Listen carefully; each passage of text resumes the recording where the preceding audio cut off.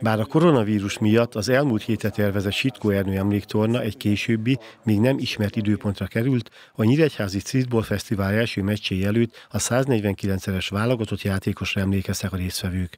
Normál esetben már májusban elindul a sorozat, idén azonban két hónap alatt tartják meg a nyolc rendezvényt az ország különböző városaiban. Paks után és Oroszlány előtt Nyíregyháza az ötödik helyszín volt a sorban, és természetesen a főszervező is a májusban elhunyt kosaras legenda nevét említette először. Ernő volt itt a mi olyan kontaktunk, ami több, most már mondhatom évtizedes kontakt volt, mert ugye ő annak idején nálunk még a Honvédba kosarazott, és ő volt az, aki ezt a dolgot abszolút átfogta, és őre lehetett számítani. Természetesen mindig vannak újak, és a mostani szervezők is kitettek magukért, pontosan azért, hogy szeretnék ezeket a hagyományokat követni. Mi a magunk részéről nagyon elégedettek vagyunk, nagyon jó időt csináltak, és hál' Istennek a vírusveszély sem szólt közbe, mert ez nekünk mindig egy, vagy mostanában egy nagy problémát jelent.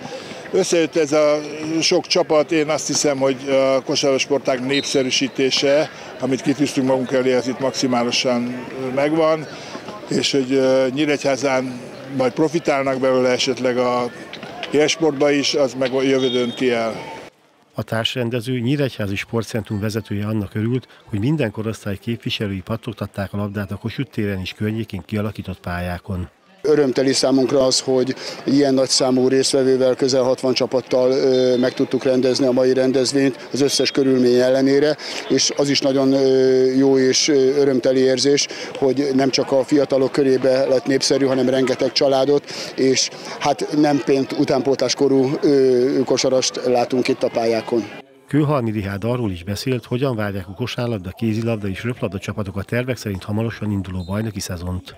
Gyakorlatilag mi úgy készülünk minden sportákban, mintha a vírus nem lenne. Sajnos azonban A, B és C opciókat is fel kell állítanunk.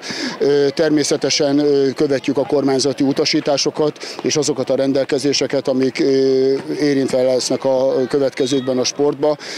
Én azt gondolom, hogy felnőtt szinten mindenféleképpen, de utánpótlás szinten is el fognak indulni a bajnokságok, legalábbis ebbe bízunk, és ezt szeretnénk végigjárni.